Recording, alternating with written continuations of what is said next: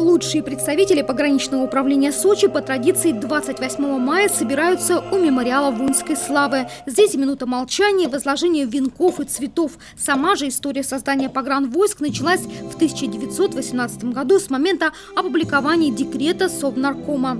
Первыми на охрану южных рубежей заступили черноморские казаки. С тех пор прошло 100 лет.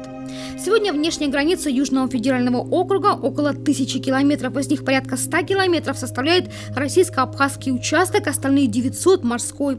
За прошедший год через границу пропущено 11 миллионов человек, задержано свыше 4,5 тысяч человек с недействительными документами, 27 человек привлечены к уголовной ответственности. Жаркая пора для пограничников начнется и в период проведения в Сочи чемпионата мира по футболу. Пограничная безопасность проведения чемпионата мира по футболу в нашем городе Сочи, она обеспечивается и по линии государственной границы, и в пунктах пропуска.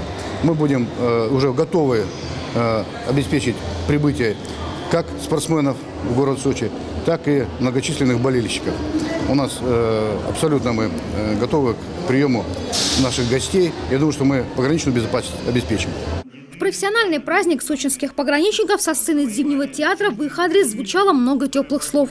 Заслуги тех, кто круглосуточно стоит на охране рубежей, неоспоримы, так же, как и помощь четвероногих защитников рубежей, без которых пограничника даже при современных средствах охраны представить невозможно. Много было в истории, как только что было сказано, и хороших, светлых, ярких дней, ну и, конечно, трагических.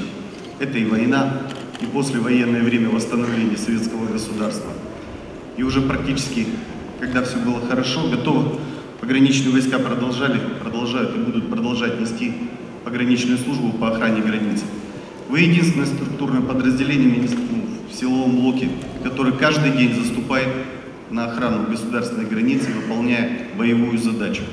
Кроме лиц с поддельными паспортами, пограничники выявляют и нарушителей режима границы. Таких за год 2000. Нарушителей правил пограничного режима свыше 1700 и около 500 нарушителей режима в пунктах пропуска.